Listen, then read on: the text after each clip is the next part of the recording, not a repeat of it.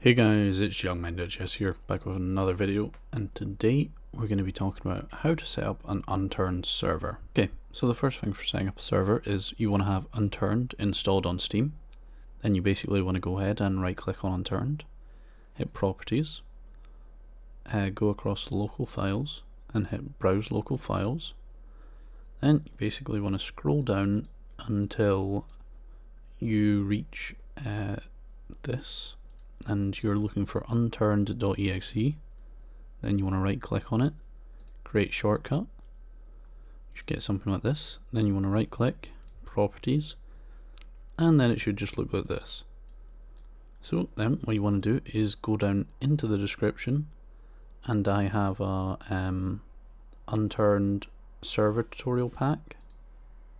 Um, it'll come as a zipped folder um, so you'll just need to go ahead and right click on it and hit extract. You will need 7-zip for that. So if you don't have 7-zip, go ahead and get it.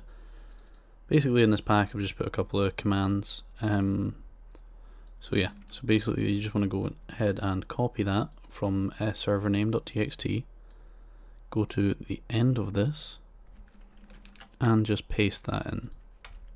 Then you just want to go back and put a space between exe and no graphics. Then you want to hit apply and then all you want to do is change this to whatever you want the server name to be. So I'm going to call this server uh, Young Mind uh, Unturned and then I'm going to hit apply. Then what you want to do is go back to the unturned folder and run that shortcut this will basically set up your shortcut, uh, your server for the first time. Uh, so you'll get all the folders that you can edit. So um, it'll take a couple seconds because it basically, basically has to load the whole world um, that your server is going to be hosted on. So the first time um, it will take a while. It won't take as long every time. It'll basically every time you launch the server it'll get quicker. But the first time it can take a while. So basically just wait for that and then I'll show you the next step which is also um, included within this pack. So um, yeah, the pack isn't essential for this but it will make things a lot easier as um, I'll be using it a lot throughout this video. Also, don't worry if you um, don't have this stuff. This is uh, for a Rocket server. If you want a tutorial on how to install Rocket mods onto your server, uh, leave a comment down below and um, I'll definitely get on one of those.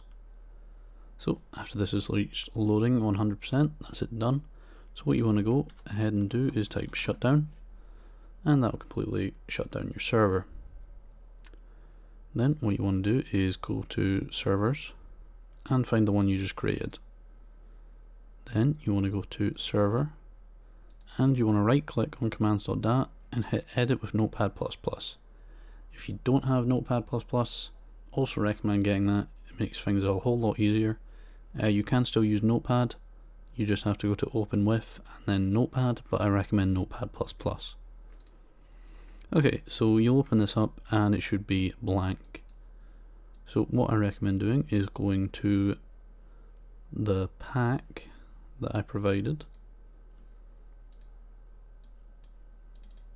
and then taking the commands.dat from here and dragging it in to there and hit replace. Then what this will do is if you go to edit with Notepad++, you will see that it'll already have some predefined things. So we'll just run over these quickly. Name is the name of your server. Map is um, the map you want. This is uh, case sensitive, so if you want Washington, you will have to put the capital W. Um, but I'm just going to leave it on PEI for now. Port um, is 27015. Uh, definitely leave on this. This is one of the few ports that Unturned accepts. You will need this if you want your friends to join the server, and I'll speak about this in my port forwarding tutorial. Um, I have an old port forwarding tutorial, it still works, it's just not my best video ever. But um, yeah, definitely check that out if you want friends to join, or I will be doing a port forwarding tutorial within the coming days. So these are the three things that you need for a server to work. Now we're going to go over some optional things. So password, that is um, the password that people will need to enter to join your server. Mode, um, you can either have easy, normal, hard or gold. So it depends what difficulty you want or if you're gold members and you want that extra loot, set it to gold. Um, only gold members can join gold servers though, so just keep that in mind. So if you want to play with your friends and they don't have gold, they cannot join a gold server. Perspective, um, you can set this to first, third, or both. First, they can only play in first person. Third, they can only play in third person, and both they can alternate between both of them. Max players, um, this is the maximum amount of players you want to be able to join your server. So, say if you're only hosting a server for you and three more friends, you could set this to four. Then PvP, you can either set that to PvP or PvE. PvP means players can attack each other, PvE means players can't. Cycle is in seconds and it basically means how long a day night cycle is. So how long you want a day to last. I've said it's 300 seconds, which is 5 minutes, which is a pretty good uh, base ground. And then welcome is basically a welcome message. So anyone will get this message when they turn on the server. Then I also have a link here. So if you um, control click on the link and just remove the two slashes at the end, then this basically gives you every command you could ever want. So say if you want to turn on cheats, you want to kick someone, anything like that, just because I don't want to go over every single um, every single command in this video because then it would just last forever.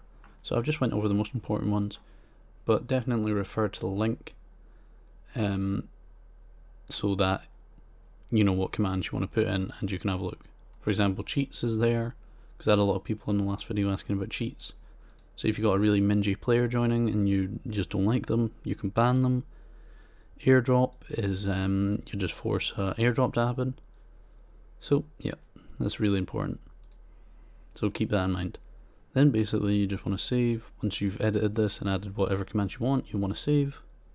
And then just go back to unturned and run it again. As you can see, it's much quicker this time because it's already loaded it once, so it's just reloading the information. And as you can see, that's it loaded already. So then if we go ahead and boot into Unturned, we will see and I'll show you how to join your own server. Okay, so now that you're in game, you want to go ahead and hit play, go to connect, type localhost port 27015 and the password that you chose. Then you want to hit connect and hit join. For your friends joining, they'll need to enter your IP, but I'll go over this in my port forwarding guide, or you can watch my old port forwarding guide, and that also goes over it. So now that you can see, I've loaded in game, it says at the top, welcome to Young Mind server, because we put that welcome command, and that's basically it. If your friends want to join, you will need to forward, uh, follow the port forwarding guide, so definitely check that out, link in the description, or I will be doing a new port forwarding guide within the coming days, so definitely subscribe so you don't miss that. If this video helps you out, leave a like. If you're new, definitely think about subscribing, or if you think the tutorial could benefit someone, definitely be sure to share. But for now, I'll see you in the next one.